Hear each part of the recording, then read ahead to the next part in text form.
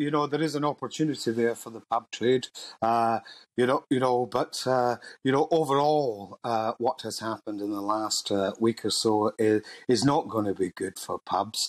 Uh, you know, we are stocked up, uh, we're staffed up, and I think we've been a bit stitched up, to be quite honest. Um, you know, we're seeing bookings being cancelled left, right, and centre. Uh, some of them uh, uh, big parties that would have uh, kept us going over the next few weeks to make us busier than we are uh, normally for the whole year. Uh, where the work from home order will affect town centre pubs and also other pubs that rely on commuter trade from local train stations. And customer uh, confidence uh, will take a big uh, knock. Uh, we have a lot of uh, once a year pub goers uh, who might be put off, and also a lot of regular pub goers, especially in the older generations, will be a bit nervous to come out.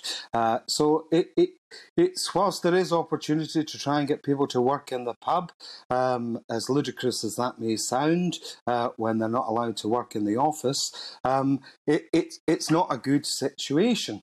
Um, and we've got to look at the background too. We've only been open for four months properly uh, in the whole of 2021.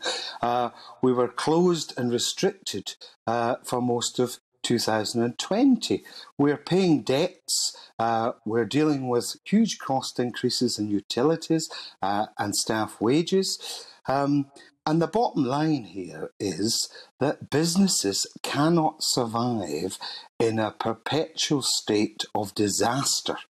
Uh, and we really do need the government to move us on, calm things down, and start living with it, which they've been talking about uh, since the summer of 2020.